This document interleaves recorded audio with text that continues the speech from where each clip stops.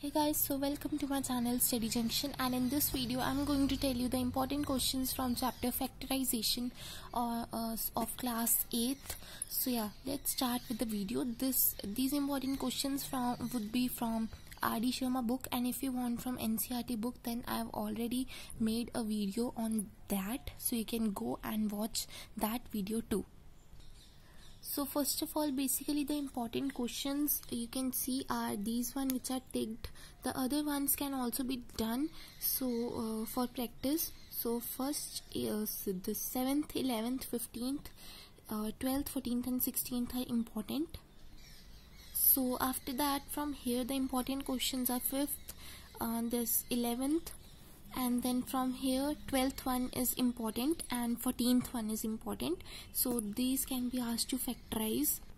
After that the question 17th is important. And then from here 20th question is important. You can also do this 24th question because this question is this uh, the type of this question is mostly asked in the exam paper. Then is your question number 18 and 21st these are important and then this sixth one is important and 11th one is important. 11th one is very simple. So yeah. After that nothing uh, much important is there from this exercise. Then you have question number 18 26th and you have question number 15 so these are basically important questions. So practice them really well. Other questions as you can see if you have time then practice them too. The answers are in front of you. So practice them.